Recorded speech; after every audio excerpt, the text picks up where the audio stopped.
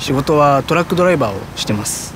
あちこちいろんなところに行けるので行った先での人との出会いだとかやっぱそういうのがすごい面白いところです。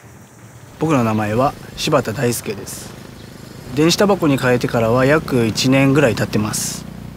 友人が吸っていたのでで最初にあの1本どう？っていう感じで吸ったのが最初そうですねきっかけですで休憩中だったり仕事終わった後であったりそういう時間に電子タバコを吸っています。